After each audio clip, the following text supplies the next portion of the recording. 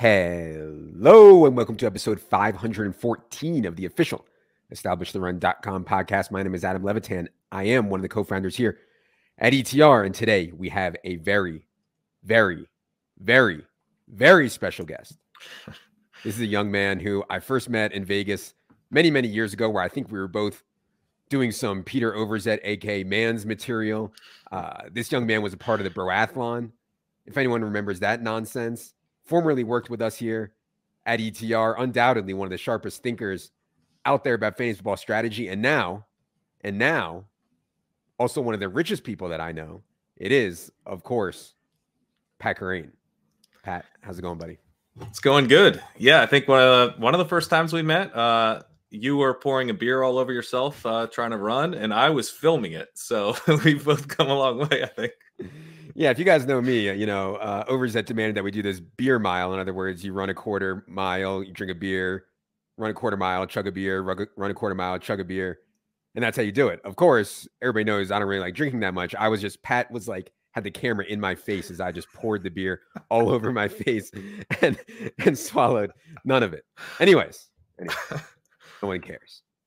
So Pat is here today because it is not often people win $2 million in fantasy football. Yeah, you know, there's DFS milli makers every week. And yeah, there's some nosebleed stuff that is very high stakes, but $2 million in best ball is just so captivating. We just had to have him on the show. And if anyone doesn't know what I'm talking about here, best ball is simply draft only fantasy. No waivers, no trades, no setting lineups. You do a draft before the season, you play it out from there. Obviously, that format creates uh, a bit of different strategies and theories, which I think we're all trying to figure out as the game kind of matures. Pat's win came in underdogs best ball mania, which was just absolutely insane this past summer. $25 buy-in, $2 million to first, $1 million to second, something like 451,000 entries. If you want some idea of how popular underdog is and how popular best ball has gotten. So, anyways, Pat, take us back on your best ball journey. Where, where did you first hear about best ball? How much best ball have you played in your life prior to this? So like best ball, when I first heard about it and stuff, was like mostly like the you know MFL 10 type of stuff where you would just draft a, a league as like a 12 team league and then you would win the prize pool of winning a 12 team league, but you know, with no management. So you could kind of like in DFS terms, more like cash games or something where you're just trying to, you know, grind out a, a good, um, profitable ROI by just playing a ton of these leagues. I never really got into that. I was just like, you know, it's, it felt sort of like, uh, I never got into cash games in DFS either. So I'm kind of thinking, you know, once, once like best ball mania showed up a couple years ago and kind of these more top heavy prize pools, these tournament structures, that was definitely more interesting to me. Um, and I didn't really play Best Ball Mania one. Like I didn't max it. I, I'm not sure how many entries I had. I definitely dabbled, uh, but you know, then I, you know, seeing Justin Herzig take that down and everything, and you're like, yeah, that'd be kind of kind of nice. Like let's you know maybe fire at this. So I I uh, I maxed it last year. I think one of my drafts got voided, and so I never got my cactus, which is always uh, which has always been a bummer. But yeah, uh, 149 official drafts last year, I think, and uh, took it you know, very, very seriously last year, trying to, you know, employ all the the tactics and stuff to take down the specific format, which is a bit different than kind of traditional best ball where you're just trying to win a 12 man league. You're trying to win uh, four different rounds in order to win the top money in this in this tournament. Yeah, and I remember the MFL tens. I remember thinking this is absolutely incredible because for someone like me who is kind of uh, looking for something to sharpen my draft skills, prepare for the season, but not deal with waivers and trades and all of that stuff. Um, it really, really appealed to me. And I think that appealed to a lot of people as well. I would actually now, I mean, DFS still remains my favorite form of fantasy, but I don't think best ball is really like that far behind. I know you play everything Dynasty, DFS, best ball. What, what's your favorite redraft? What's your favorite form? of fantasy now and try not to be colored by winning $2 million in best ball.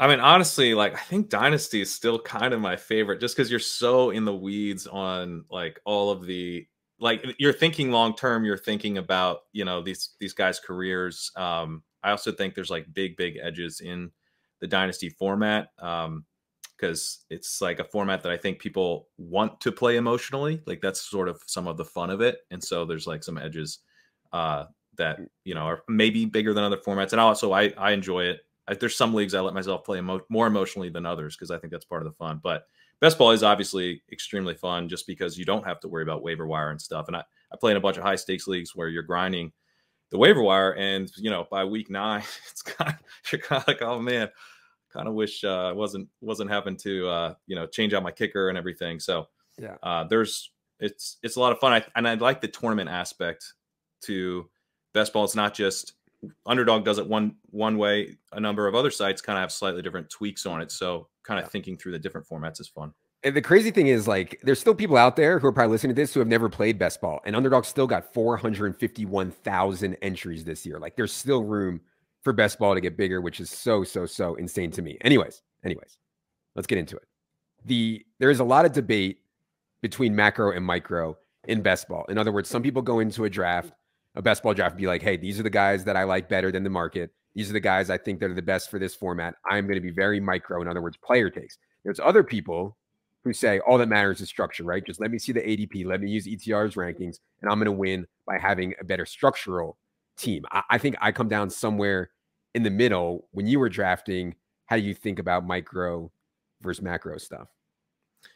I think both are just very important. Um, the I, am gonna. It was either Leone, maybe it was Eric Beinfort. Someone has been saying that structure is sort of the ante to the game, and I, I think like that's a decent way to think about it. Like you kind of have to think through the fact that another way I've been trying to think of it is like if you're familiar with doing auction drafts where, you know, if you you might like taking an early running back, but if all the early running backs are kind of if you're priced out of those guys and you know you you might have to pivot and go a different way. Or if you've spent a ton of money on a running back in the beginning of an auction draft, that might make you feel a little bit like I shouldn't probably spend a ton of my budget on another running back. Or you know, you kind of want to always factor in what you've already done and think of think of your draft picks almost like pre-allocated dollars that you're going to be spent. Like your 18th round pick is a dollar, and honestly, so is your 14th round pick probably. And so I mm-hmm. think thinking through like the fact that you are sort of budgeting your your team based on um, you know you want to you want to properly budget your resources essentially that is what structure is uh, and structure is going to you know if you if you're in a if you're in a year that ends up being a really good year for early round wide receivers and a really bad year for early round running backs, then you know zero running back type of structures are going to have a really good year. If you're not in that year, then you know early running back structures might have a really good year. So you think you want to be open to the idea of many different types of structures. You know, you don't you don't just want to just kind of go all in on one. Even if you do strongly believe that there's a bigger edge in some than others, I think you need to be able to draft out of all the structures well uh, and then I also am a player takes guy and a big player stands guy. Like I don't have any problem going big on you know player you know fades, uh, you know going pushing in on certain players. I do think you want to be mindful of what you're doing there, be intentional. That's something I've I've tried to work on a lot. Like kind of checking in with myself, like, hey, you have a pretty big stand on this guy. Is that something you actually want by the end of draft season? Same with your fade positions, just kind of thinking through it as this goes. Because with best ball, like you start really early. You might be starting in May you're drafting through the end of the summer, I think there's time to kind of have those check-in points and make sure you are where you want to be. Yeah, I, mean, I, think the whole idea that player takes don't matter is gone way too far. Like they, you need to have good, strong player takes, and we'll get into some of that in a second. There, in a second here, but yeah, like if you don't like Deebo Samuel this year, and Deebo Samuel fell to you in the third round, it was just like, oh, well, he's a great deal at ADP. It doesn't mean you still have to take him, and maybe some people disagree there. That that's just my opinion. The problem with that is, as you said, you're going to start getting your portfolio kind of out of whack. And so I think people were curious what your overall exposures looked like this year. Like, where did you have the most leverage against the field? And again, Pat had 150 teams, the max in this $25 buy in on underdog. Where did you have the most leverage against the field, both positively and negatively, in terms of player takes this year? Yeah, so uh, Rachaad White was actually my highest owned, uh, highest exposure guy. I had him on 45% of my teams, although not this one. so uh, it's funny because a lot of the players that I was like highest on were not on this particular team. Rhamondre Stevenson, I had on 18%. He was one of my highest uh, owned running backs. Um, and so, you know, he was a, a, feature of this team, very important part of this team. But I went pretty heavy on uh, some of the rookie running backs. I had Tyler Allgeier at 22%, Uh, as I said, White at 45. Jerick McKinnon was my second highest owned running back at 28%, um, which helped. I had like again, he wasn't on this team, but that was obviously very helpful. But I mean, I made a ton of mistakes this year. I had Trey Lance was my highest uh, exposure quarterback, 20%. Kyler Murray, 18%. Russell Wilson, 16%. Ryan Tannehill, 12%. You got to go to Jalen Hurts at, at 12 and Patrick Mahomes at 11 before you, you see anything good there. Skyy Moore was my highest owned wide receiver. Then, then Burks, 28. Moore was at 29. Burks, 28. AJ Brown, 26. Uh, Garrett Wilson, 23. Um, I would say my the biggest thing I did probably in terms of like overall leverage on the field is that uh, this this is only through 135 teams, but using the Spike Week tools, I was checking where I was at in terms of structure. I had elite tight end on 63% of my mm-hmm. teams. Kittle was on this team. I had him on 15% of teams. I had Pitts at 17%, um, Andrews at 13, Kelce at 12, Waller at 12. Uh, so elite tight end was something I definitely in terms of structure and and all the players basically available uh, that I did have quite a bit of leverage on. Yeah, I wanted to uh, ask about that tight end thing because I actually think that that is a huge, huge, huge part of best ball when you have a tight end crushing and everyone else is scraping it together. I somehow was able to win the three three three single entry with total dust at tight end until the final week when Alberto somehow got there for me, and I think that was just more randomness and luck than anything. I, I do think elite tight end having elite tight end in best ball is he maybe even more valuable than redraft? Is that why you went with so many elite tight end builds on underdog? It is, yeah. Um, I think it's really powerful in best ball. Shawn Siegele's done a number of articles over the years, kind of showing consistently that it's very powerful in best ball. I did some research uh, that I published on Rotoworld in the summer that was showing like you can basically superpower any build with an elite tight end. It just is, is one of the biggest edges, I think. And I think that George Kittle's run showed like kind of exactly why the edge exists. Um, he didn't do a ton for me in the regular season, but not a ton of tight ends do a ton. So you're mostly like you're competing in your 12 team league against a lot of teams that aren't scoring many points at the tight end position. And then in this format, you know, after you finish top two in a 12 team league, that gets you to a single week elimination. Week 15, you have to finish first out of 10 teams. George Kittle going off in that week is extremely helpful for you to be able to get through that. And then you have to finish first out of 16 the following week. You get another strong tight end performance, which Kittle gave me. That is massive. And then he didn't have a big week 17, but I lucked out because Kelce didn't either, you know. So there's no there's only so many uh like tight end scores you're really going against, if you happen to capture one of them, it's just it just propels you through these single week elimination weeks. Yeah, the only other thing I'd say about tight end is like, yeah, I was in on elite tight end this year. The problem is I thought Kyle Pitts and Mark Andrews were elite tight end, right? And like Mark Andrews started off hot and totally did nothing down the stretch. Kyle Pitts was a disaster the whole way until he got hurt. And so like you need some mic you need to hit both micro and structurally, but I do think that the elite tight end does make a ton of sense.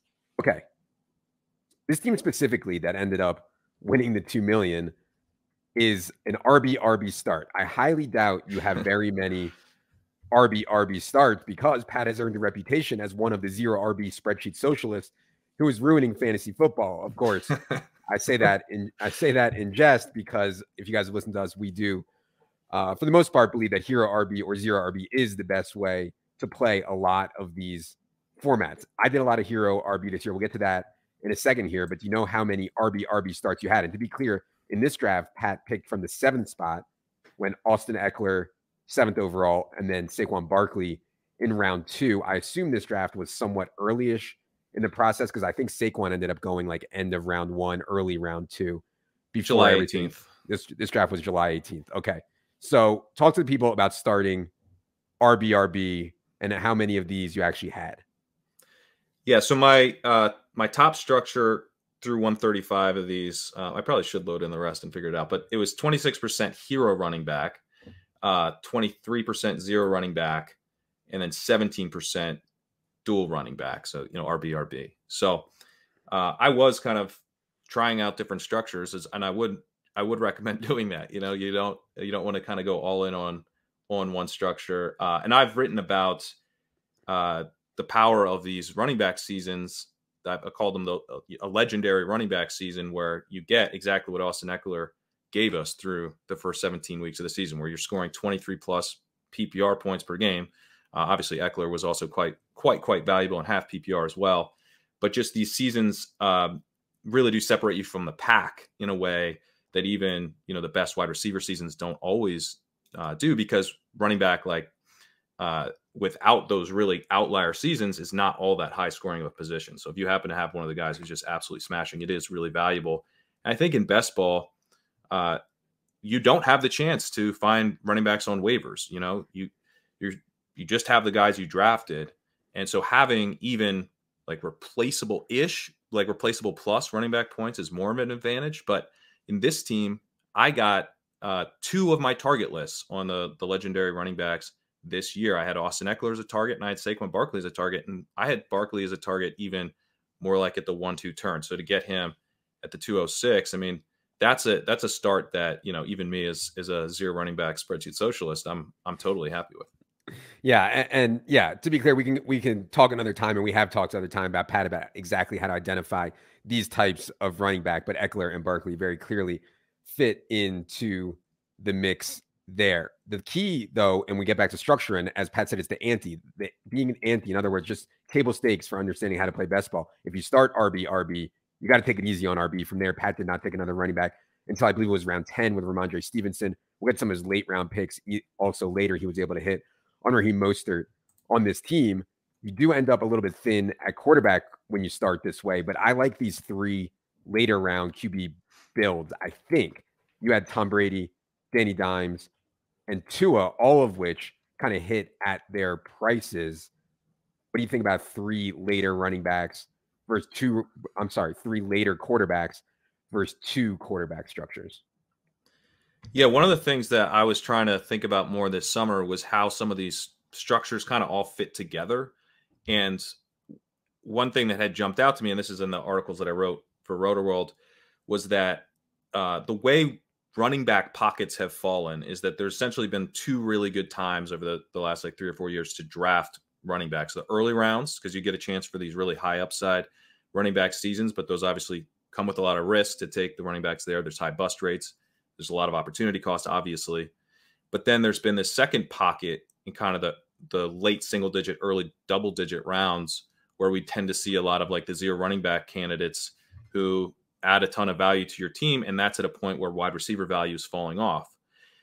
If you're going running back, running back, then you don't necessarily need to hammer the running back values in that range. I took Rhamondre Stevenson in the 10th round, but if I had only gone with a hero running back build where I just took one early running back, or if I had a zero running back build, I would really need to prioritize running back in those in those rounds. Having the running back running back start basically frees up a pick in the you know early double digit rounds. And so i i think this build it kind of makes a lot of sense to go with three quarterbacks because you have that extra pick. So i took tua in the 12th i took daniel jones in the 14th and you know i took uh, mike Gesicki in the 13th Wan'Dale Robinson in the 15th so from uh, and Jakobi Meyers in the 11th so from the 10th all the way through the end of the 15th i still only have three running backs. And then I, I took two more running backs in 16 and 17 uh, with two guys who were on the Dolphins together at the time, uh, just kind of hoping to hit one of them, was sort of thinking like I, I kind of already have running back mostly figured out. I just need to hit one more uh, and, I, and I'll be all right. But I think the the three quarterback structure probably pairs best with with a running back running back start was my feeling before the season. It's my feeling now. Uh, and it's kind of an interesting structure because it allows you to get more stacks in. I had a Tua mm-hmm. stack. I had bringbacks on that stack. I had a Tom Brady stack. I had a DJ Moore bringback on that stack. Uh, and I had Daniel Jones stacked with Giants. No bringbacks there, but he was stacked with Saquon. He was also stacked with Wan'Dale Robinson. You know, you bring up the week 17 stuff. For those guys that aren't deep in the weeds, it, it almost turned into a joke this summer. I mean, it got so far, in my opinion, blown completely out of control. People saying that that you should be drafting in a way that you have game stacks, that you have correlation. You know, we talk in DFS about bringbacks all the time, double stacks with bringbacks. People were drafting, going out of their way to set up week 17 correlation across teams. Now, Pat did it here. It sounds like somewhat purposefully, by having a Brady stack with DJ Moore bring back. And it actually hit because that game kind of went nuts and allowed DJ Moore to have one of his best games of the season. I thought it got overblown. I, I and I, I, believe in the merit of it. I, I thought that for most people, for 95% of people, it's enough just trying to concentrate on doing the right thing structurally and micro that adding in a layer of trying to correlate week 17 would probably mess them up more than it would help them. And like myself included. And I was doing 10 drafts at a time. So maybe I'm not a good example, anyways. But I, I don't know. Did you think the week 17 stuff was overblown? It sounded like it was actually in your mind though when you were drafting this team. I don't think it was overblown, and you know, I think the you know the week 17 is all that matters video that Pete Overzet did was like the best thing uh, of the summer. I loved that video, and it, it like totally did change the way I drafted. And then I did additional research, um, kind of looking at you know kind of how to build through the week 17 uh, and and the, the this this overall playoff structure. What I guess I would say is like it's not just week 17 you are trying to get a team through. You have to finish first of 10, first of 16, then first of 470. It is helpful to have some correlation there. Like, I, I didn't really get into week 16 bring back so much, you know, but if you have stacks, you know, and, and one team goes off and you, you have your quarterback carrying along other pieces, I think that is pretty helpful. But I mean, this this team is an example of someone who is very much on board with the week 17 stuff. I had I had George Kittle with a mini correlation with Hunter Renfrow. I mean, I, I, this is a this thing is full of bits. I was doing all the week 17 bits in here. I, I had two Patriots receivers uh, coming back as bringbacks, Tyquan Thornton and Jakobi Meyers on on this Miami thing. So, uh, you know, I think you can obviously take it too far. I, what I would guess I would say is like using it as tiebreakers. I think it, it makes a ton of sense because even though it is like a fairly big final round, 470 teams.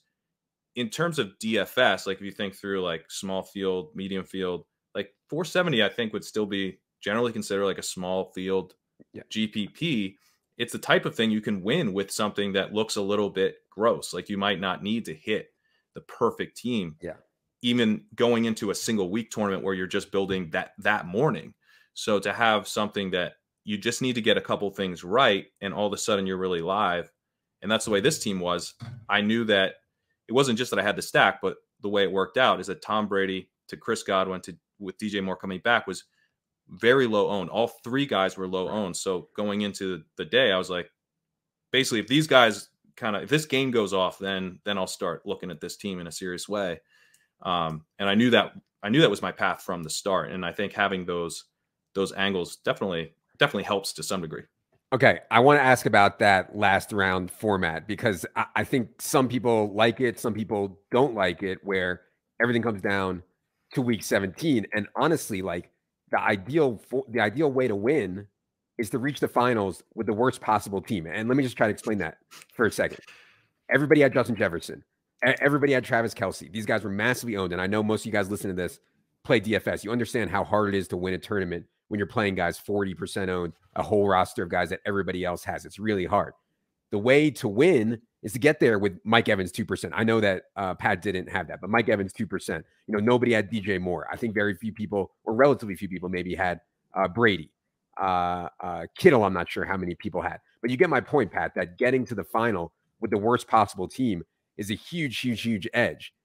There's no way we can draft for that. There's no way we can plan for that, I don't think.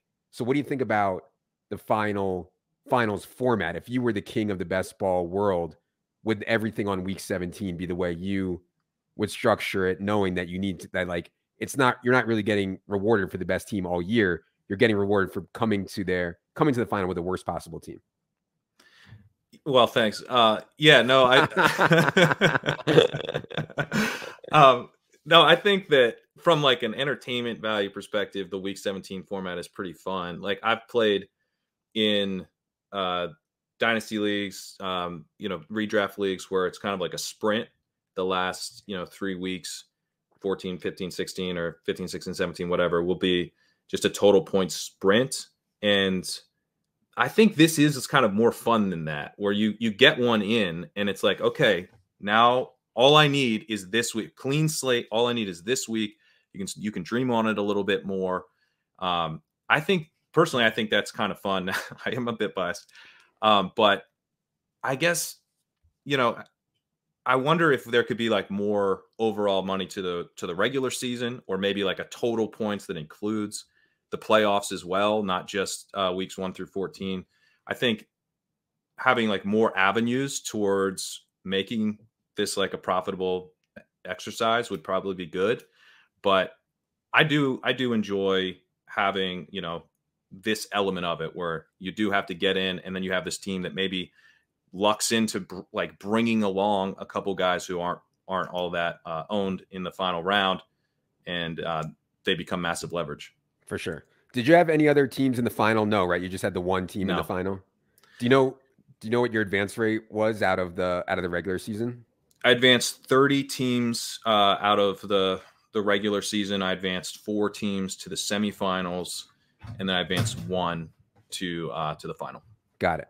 Uh, you mentioned this team was drafted in July. Um, I've thought about this a lot, you know, and it's kind of a push and pull. I think that I think that one of my edges would be understanding where the market is going to go and like being higher on guys before the market comes around to it. By the time it's August and September, the market has already come around to it. In other words, Saquon Barkley is already going at the end uh, of round at the end of round one by then. So that's a big edge. On the other hand, it's undoubtedly softer closer to the season. Like you see some wild stuff in those September drafts with a bunch of people that you know aren't listening to this Virgin podcast and everything like that, uh, who come in and have some wild player takes. They're falling asleep during the draft. They're not grinders, whatever. So you get softer drafts, but the ADPs I think are mostly correct by the time September comes. You follow what I'm saying. So do you have a take on when the optimal time is to draft a best ball team?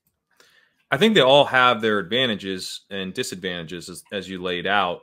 Um, and I think there's been kind of a push towards, uh, you know, kind of a barbell strategy where you draft a lot of your teams. Like some of the sharper guys will draft a lot of their teams early on, where there's max uncertainty, um, and you can potentially build more super teams, and then draft a lot of the teams when we when we kind of know, and maybe you're going against some softer opponents. But I guess what I would say is like, I that didn't really work out for me to do it that way because uh, like I have a lot of content responsibilities and stuff, and I just didn't think I'd be able to get in enough teams. So I took like a little mini pause, more like in the beginning of August, but I basically drafted all the way through. And it had to be an advantage that all these sharp guys were just like, yeah, I'm not going to be drafted on July 18th, you know, mm-hmm. you know. So maybe maybe I did kind of get a little bit of an edge built in as other people were thinking through when when not to draft. I think you probably like I, I plan to draft throughout the summer again next year. I do you think you maybe want to adjust the styles of your draft. Like if you think through, okay, max uncertainty, what builds does that help? It probably helps zero running back builds more, where you're trying to leverage all of this crazy chaos that's going to come. The more chaos ahead, the more likely that maybe that benefits a team structured to benefit from chaos. And you know, with on the flip side of that, if you're trying to basically pick the right guys and you know build a team that is maybe like slightly more fragile but more powerful if you have the right players on it um, and you get a couple awesome early running back selections like maybe later in the summer would be a better spot for the double the double early running back or the hero running back. Obviously if the draft falls you a certain way go with it but i think like in general kind of just like dialing things up and down throughout the summer probably makes sense. All right. Let's get to the ending here. So for those guys who weren't following along, going into the Monday night game against the between the Bills and the Bengals, Pat was in first, and he had a pretty sizable lead in first. A lot of people, I'm sure, including Pat himself, were trying to figure out the equity, the chances. Uh, from what we gathered, and I believe from what Pat gathered, Pat had around a 25% chance of winning. Now, he was a favorite against each individual team, I think clearly against all the teams that were coming for him, though he was a dog. In other words, 25% equity. I think Leone uh, or you or someone figured out, you know, something around 767K equity on the team because there was, of course, a million dollars to second and other things. Now, game happens, horrible thing happens to Damar Hamlin. A lot, uh, game was canceled per the rules, obviously. Uh, game gets canceled, standing to end how they are. Maybe you can take the people through your thoughts around all that and how you felt uh, in the time we didn't know if the game would be replayed, et cetera, et cetera.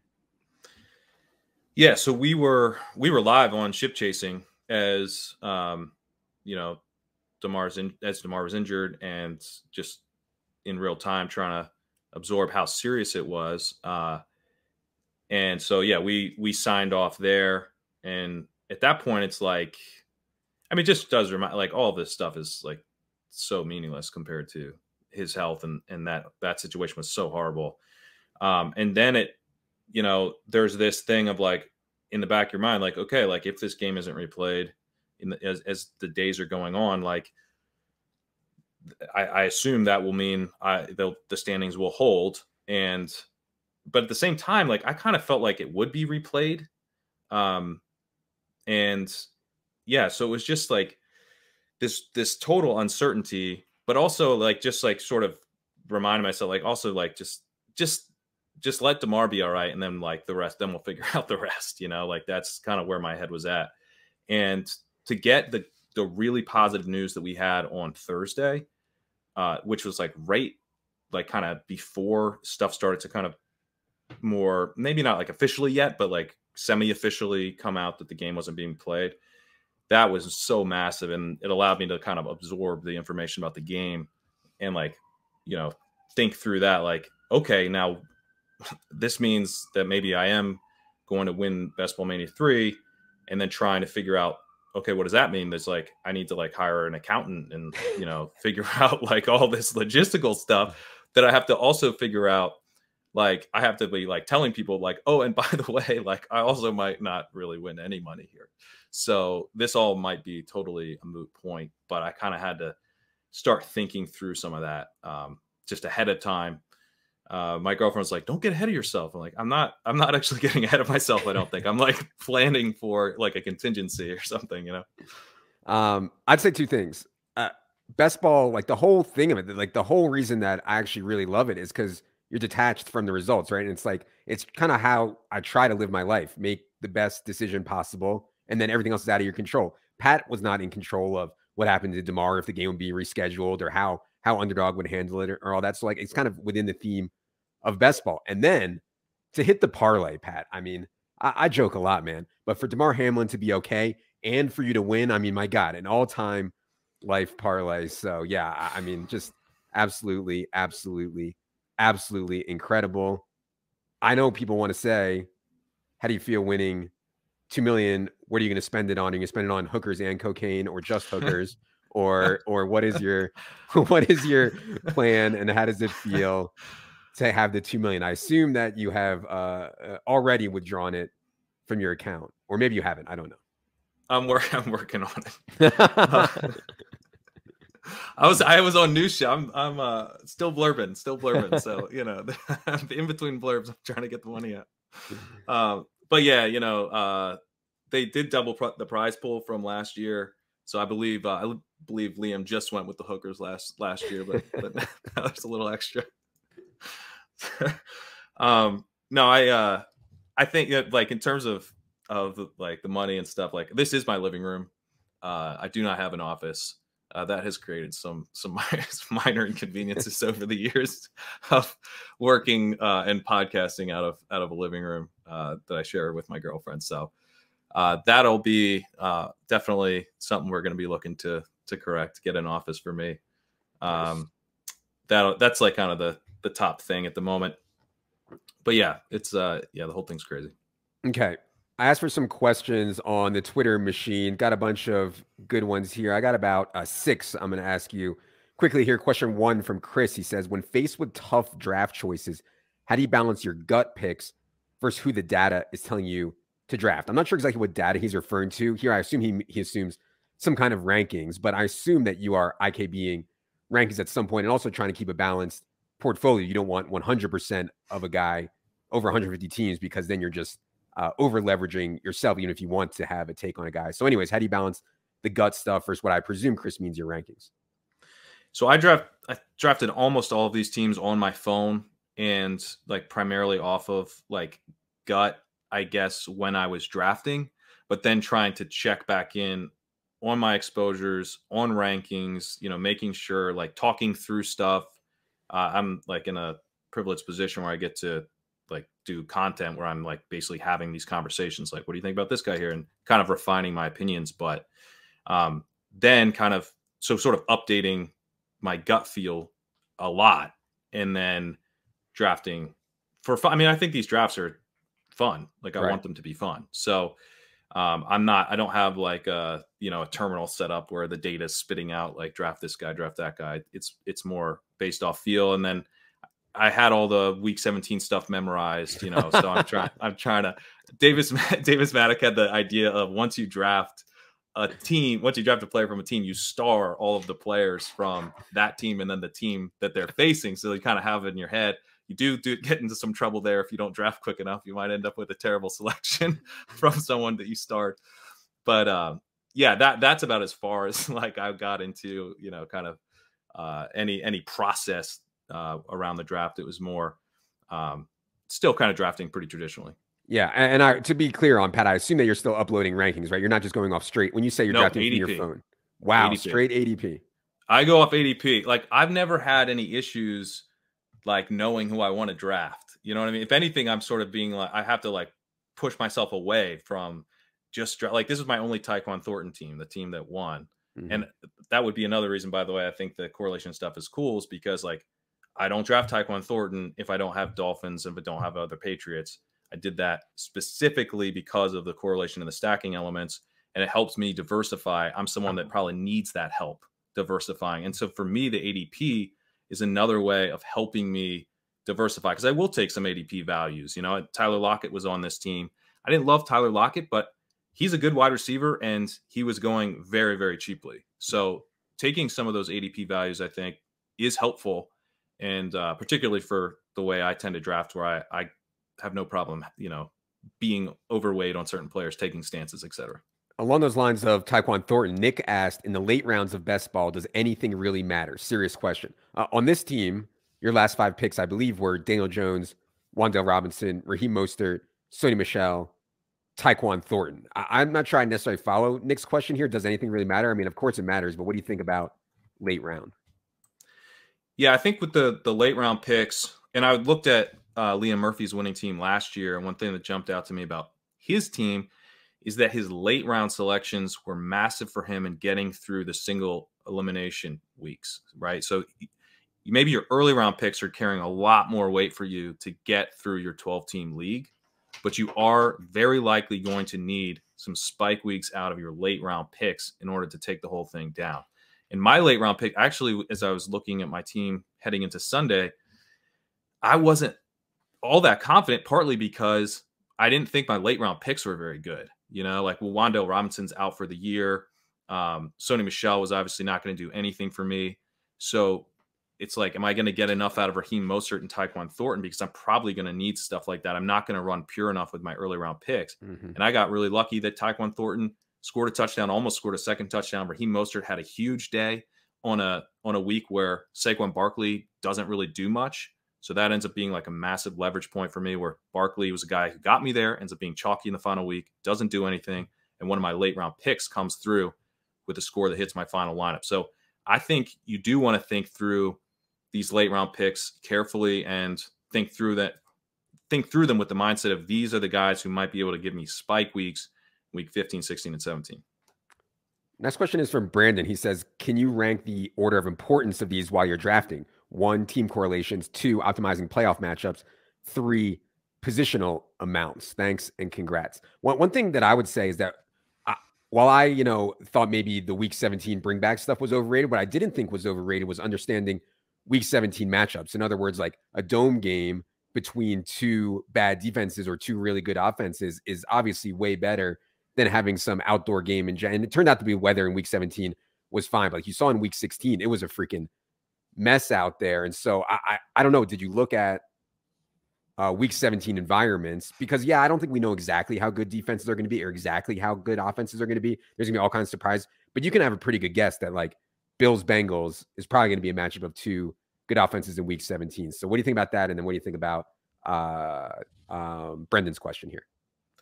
Yeah, I mean, I think stacking up those games. I mean, I I had a lot of Bills Bengals. I think stacking up Bills Bengals is really sharp. Um, I think you know, I had a lot of Chiefs Broncos, which wasn't wasn't as sharp as it turns out. But uh, you know, I think that makes a ton of sense to attack those matchups that you think are going to be really high scoring in the final week.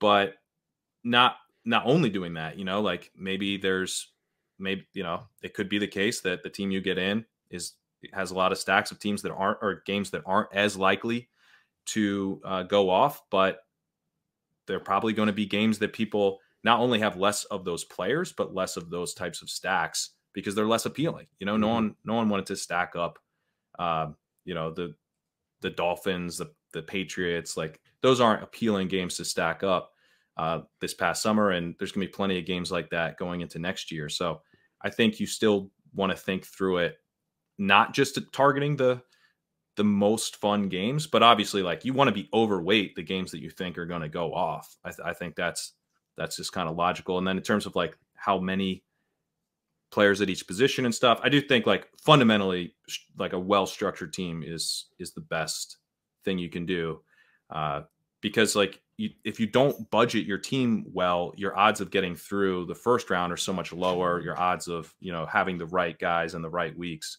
are going to be lower as well. So I think just got, that's sort of the foundational level stuff of of just uh, structure and understanding how all this works together.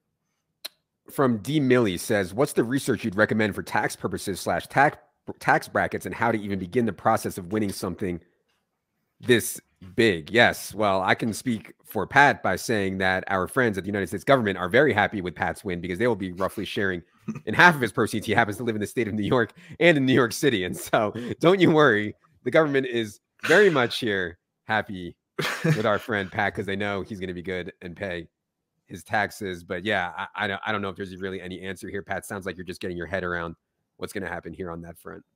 Well, you can tell that I, am not uh, BSing when I said I didn't think I was gonna gonna take down this tournament because if I did, I would have moved to uh, Florida or Texas yeah. or something and not not lived in Brooklyn as as the money came in. uh, I'm still figuring that out, but I think uh, taxes taxes is going to be a big part of my life uh, going forward uh, for this year. It sounds like. I was actually uh, talking to some people in between when the delay was happening, and I was like, "Man, he should establish residency in Florida in the next four days." But you know, that would have been a, an alpha move and probably under a lot of scrutiny. So probably for the best. I don't know.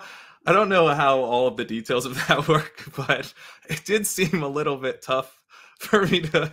Oh, it's funny you wanted to move to Florida on uh, January, mid January. Oh, that's an interesting time.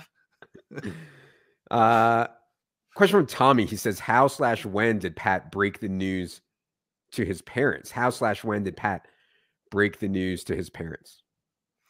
So I I waited. So I didn't even tell my parents that we had like a family call on Sunday that I couldn't make uh, legitimately was like, I really can't make this because it's like at five o'clock or something, and I was I was blurbing of my one o'clock game, so I had to, you know, I was I was working, so I was like, I don't think I'm gonna be able to make it. But then as that um, was all happening, we're talking about me being at like in like tenth or eleventh, and then like probably during that call jumping up into second, and so like the sweat really really kind of starting to kick in. And I did not let them know about any of that. I figured, you know, I'll know pretty soon if this is like a real sweat. And then I had to get through the Sunday night game. I did not have any players left in the Sunday night game. There were several very good teams right behind me with multiple players. One team had Isaiah Likely, uh, almost got there, almost passed me with Isaiah Likely. He also had George Pickens, Pat Freiermuth. So um, getting through the Sunday night game was like no given at all. And then I got through the Sunday night game, then I came down to the Monday night game. It's like, why would I put my parents through this? you know, like let me because if I if I finish 11th, which pays out 10k in this tournament, and I tell them, hey, I won 10k playing fantasy, they're gonna be psyched. Mm-hmm. You know, so let's and that and I probably will need that energy. Um, so let me let me just wait. Let me just wait and tell them. And then, when you know, when everything was happening, the game is suspended and and all the uncertainty around Damar Hamlin, I was like, I'm definitely not putting them through this either. So I waited until uh, Thursday. Uh, I called my dad and my my grand my um, my mom was down at my grandmother's, uh, so they weren't together. So I called my dad, and he'd been kind of trying to catch up with me since Sunday. And so I, I talked to him. He was obviously very psyched. We had a nice conversation, and then we like caught up about all the stuff he like wanted to talk to me about anyway, like very kind of mundane, regular stuff. And that was actually really nice, just to kind of have a normal conversation, to tag the the conversation about me winning. Um, and then I called my mom once we had like some additional confirmation that the game was was not going to be played. Um, and I basically had to convince her. She like fully didn't believe that this had happened. yeah, I don't actually tell my parents anything because anytime I win something, their first response is, "Yeah, but how much did you lose?" And I just can't face that, and so I just don't. I just don't even. I just don't even bother. So shout out to you and shout out to your parents. All right, last question we're gonna do here today before we get Pat out of here is from Matt. He says, "How did Pat's now ex girlfriend take the news?" And I, you know, I'm sure Matt is joking. You hear it all the time you know, guys are in medical school, they become a doctor, they move on to the next girl. How did your now ex girlfriend take the news here, Pat? Not ex girlfriend. She is uh, my current girlfriend still. she took it. Well, so she was looped in. So she kind of went through the same up and down uh, roller coaster and everything. And uh, I feel like she she definitely handled it really well, and she kind of got up to speed. I was impressed with how quickly she got up to speed entering the Sunday night game with with like what was going on because I've tried to explain this stuff to her before where I you know I was in the red like the red zone as a DFS tournament on DraftKings and I would I had I don't know I was like in fifth or something one week and I was like oh my god like I might take this down and then you know you finish like 35th or whatever mm-hmm. and then you have to explain like yeah well what I was saying was true but also I've essentially won no money. so having to like explain like look, it's a very top heavy payout structure. You know, if we if certain things happen tonight, then it it changes a lot, but there's a good chance that those things don't happen and so it's worth kind of getting excited that, you know, maybe I could actually win this tournament. Um and she kind of got up to speed with that probabilistic thinking pretty quickly, I think. So I was I was impressed with that. Good. Can't wait to meet her. I I um I before we get out of here, I did have one more question come to mind. I, have thought a lot about hedging in some of these spots. Like I had a couple spots and on much, much, much smaller scale with my best ball team, and I was like, hmm, like I should really probably be hedging here if I can find like a neutral EV bet in a way to hedge. There's not really a clean way to do it because of a limits, but even if there weren't limits, there's not like fantasy point over unders. DraftKings used to have fantasy point over unders, but I don't think they do anymore. But anyways, uh, did it cross your mind to find a way to hedge? I don't know, maybe just like if a clean under in in Bills Bengals or something like that. Uh, but you know, you could still lose both there. So I don't know. I don't think I would have done that. But yeah, did it ever cross your mind in any hedging scenarios? Yeah, it did. I, I went and I was like trying to put like some single game parlay stuff together for Tee Higgins because he was like the the most teams you know had him. But then it's like, you know, there were teams that had um, Joe Mixon, Tyler Boyd, Gabriel Davis. Like there's lots and lots of ways that uh, I could have fallen out of first if you know different combinations of guys went off. So it just like became this thing of like, man, if I you know fall to you know 11th place and then I also have to pay out right. this this Tee Higgins thing. It just um I didn't end up doing it. Yeah. Yeah, I don't think there's really a clean way to do it. And again, yeah, like Pat said, losing both sides is just nightmare, nightmare, nightmare scenario. All right. So thanks so much to Pat for his time. I know he's a very busy man taking swan dives into gold coins these days. And so we appreciate his time here on this Monday afternoon. Pat, tell the people where they can find you on the Twitter machine if they uh, desire to do so. Yeah, I'm at Pat Kerrane uh, on Twitter. At Pat Kerrane on Twitter. All right. Four. The newly minted millionaire Pat. For producer Luke, I'm Adam. Good luck, everybody.